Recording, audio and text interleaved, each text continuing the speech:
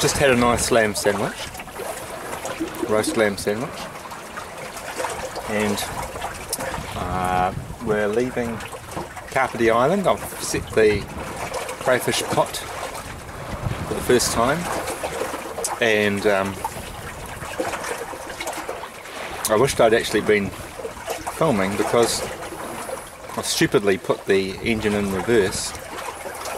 And got the rope wrapped around the propeller close to the rocks. So I leapt up to the bow and put out the anchor and luckily that held because it was an onshore breeze onto the rock. And um, that hadn't held, I was ready to jump on the radio and start seeing if there was anyone else around who could have given me a bit of a, got a bit of a hand, but luckily, luckily the anchor held, and I managed to, um, I managed to luckily um, stick the motor in neutral. I was about to anyway, and um, it kind of crossed my mind while I was in reverse that. Um, shit, I might get the rope caught inside. I was just putting it into the neutral when I felt it tug on the rope so it was only wrapped around about 10 or 15, 10 or 15 times. So then I managed to get that untangled and I put the crayfish pot down and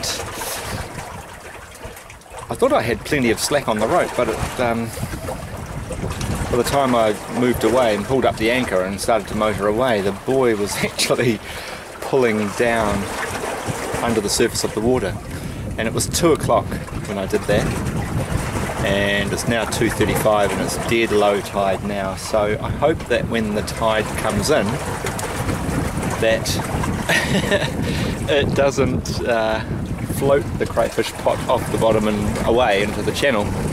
Because the tide runs here at about um,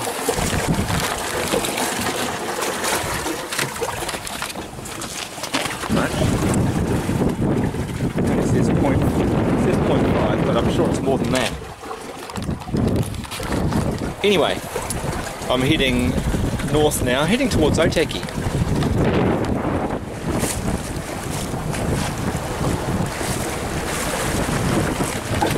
I might head up head up there.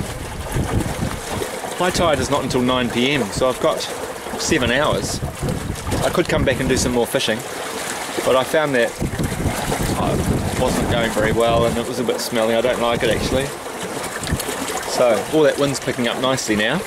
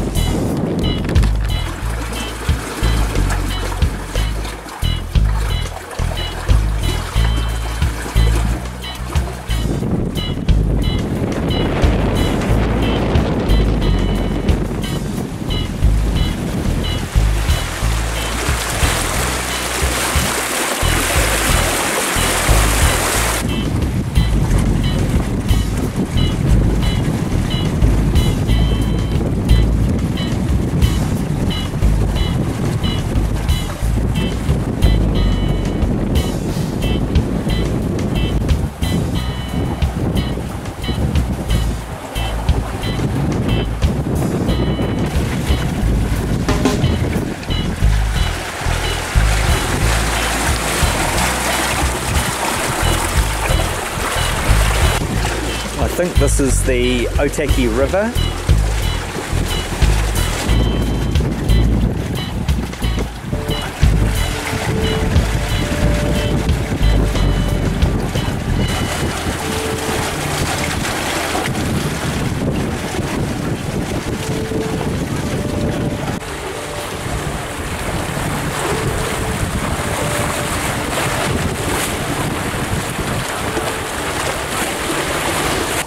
made it to Otaki. I actually made it past Otaki and it's now 25 past four, so I'm going to tack and uh, turn around and start heading home and try and catch the incoming tide at Otaihanga.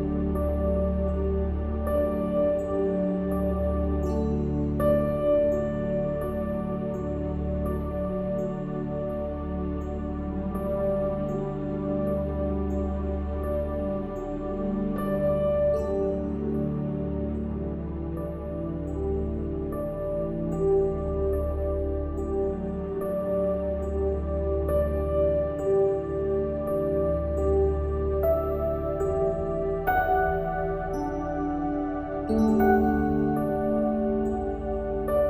you